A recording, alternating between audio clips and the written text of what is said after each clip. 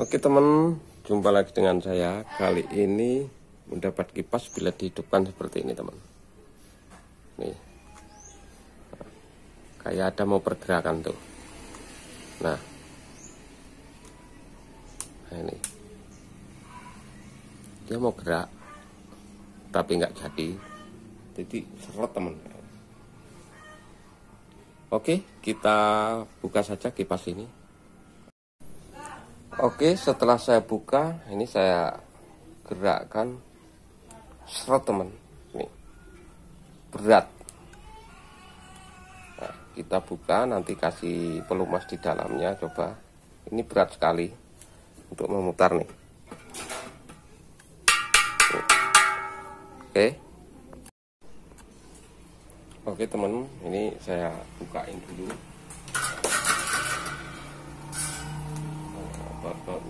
Kita buka supaya kita tahu eh, dalemannya eh, memberi minyak pelumasnya biar oke. Ini bekasnya sudah dikasih pelumas, cuman kok belum sembuh ini netes-netes bekas pelumasnya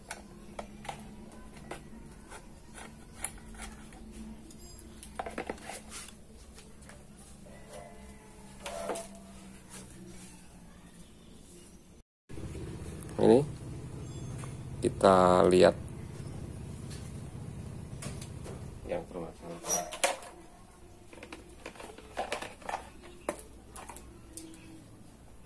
uh, seret banget nih gini sampai nggak muter nih pakai tangan.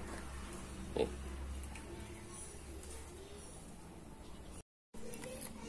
Oke sebenarnya ini harus dibuka dulu tapi saya akan mencoba uh, menggunakan uh, minyak senjata saya ini. Uh, tapi sebetulnya kita harus buka dulu untuk membersihkan kotoran yang di as ini.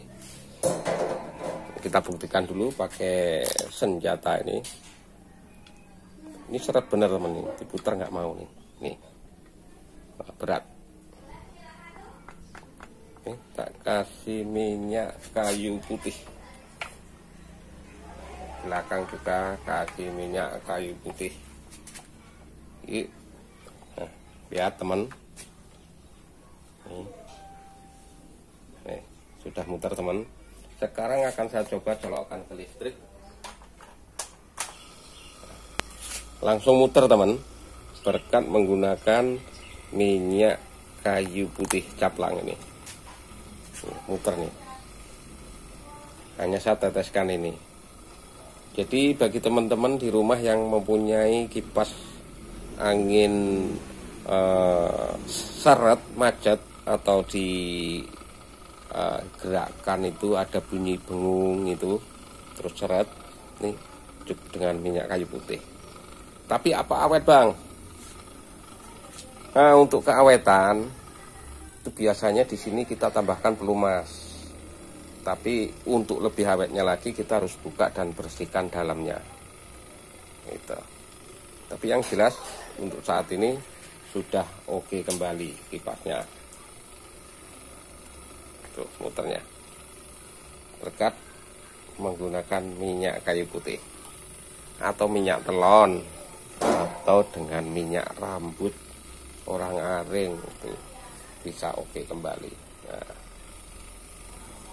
oke sampai di sini aja informasi dari saya. Yang jelas ini mau saya buka saya bersihkan asnya tapi tidak saya liput ini aja yang saya liput. Terima kasih anda sudah menyaksikan video saya